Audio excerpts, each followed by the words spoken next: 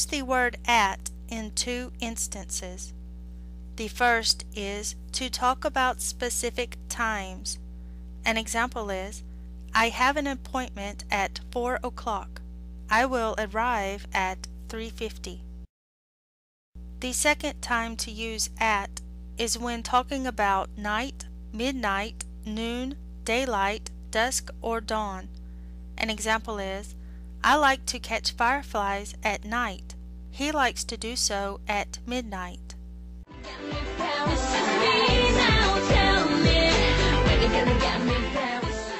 Use the word on to talk about a specific day of the week or date.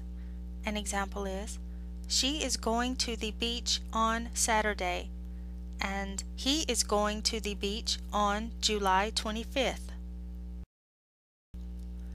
Use on when talking about a specific holiday. Some examples are I will have a party on Christmas. I will get chocolates on Halloween. He went to Spain on New Year's. Now there are exceptions, but you can sometimes use at instead. In these examples, at can also be used.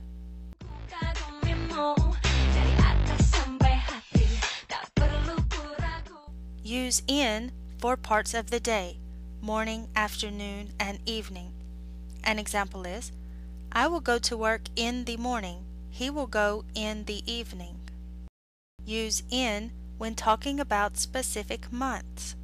An example is, she will enter the contest in January. He will marry in September.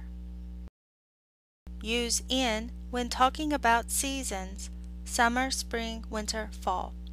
An example is, he will go skiing in winter. She will go to Brazil in the spring. Use in when talking about years. An example is, he will graduate in three years.